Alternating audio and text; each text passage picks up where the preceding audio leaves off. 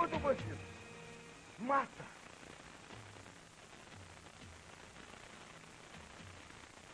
Alguém da sua família,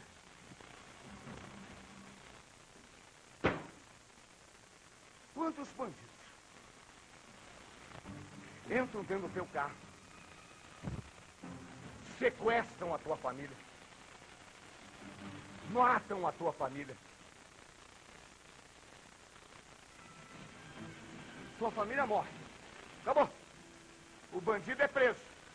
Ele vai tomar o café da manhã, vai almoçar, vai jantar. Se fizer frio, tem cobertor, tem tudo. Porque tem a Comissão dos Direitos Humanos para cuidar deles. Ah? Chega bem na minha cara. Eu não tenho medo de dar a cara para bater, não. Chega bem na minha cara. E agora, e as vítimas? A Comissão de Direitos Humanos ajuda as vítimas? Se preocupa com as vítimas? Ei!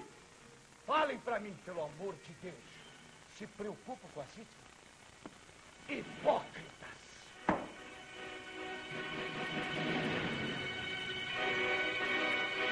Vocês são hipócritas. Hipócritas.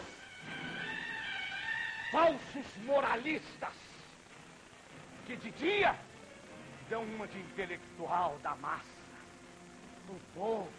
À noite está de linho e tomando escote inglês ou escocês.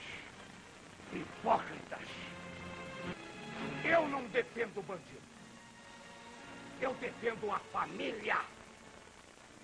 A família, que é a base mais sólida